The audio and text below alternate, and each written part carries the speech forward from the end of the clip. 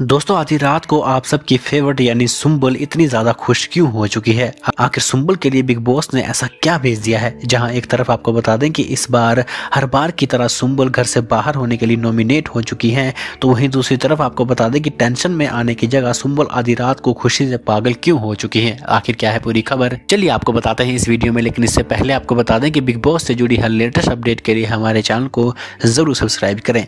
जी हाँ दोस्तों, दरअसल आपको बता दें कि आज थर्सडे है और आज से वीकेंड का वार सलमान खान के साथ शुरू होने वाला है। सलमान खान एक बार फिर बिग बॉस में वीकेंड का वार में सभी घर वालों की जमकर क्लास लगाने वाले हैं, खासकर सुम्बुल की, क्योंकि आपको बता दें कि सलमान खान ने पिछले हफ़्ते ही सुम्बुल को ये समझाया था कि तुम हमेशा पीछे मत रहा करो, लेकिन इतना समझाने के बाद भी सुम्बुल हर बार की तरह इस बार भी घर से बेघर होने के लिए नॉमिनेट हो चुकी है।